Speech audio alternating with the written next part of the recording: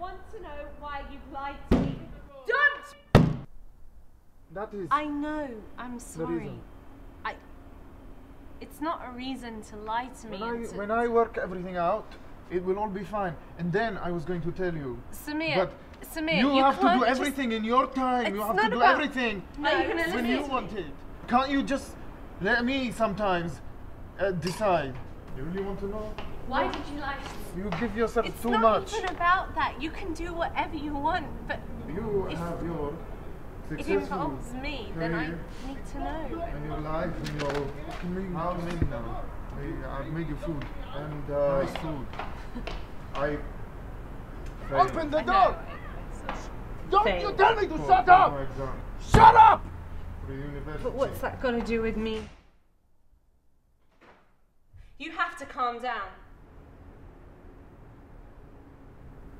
I'm You crazy. need to. You need to. I don't Um, come further. I don't want you to come in the house.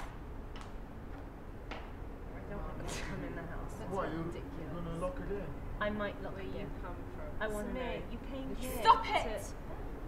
Do something. Why did I One lock thing you to in? Tell me the truth. And Why did you lie to me? You failed. Now you know. I don't.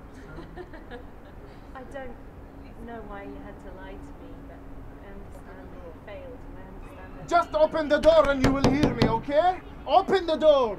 Open the door!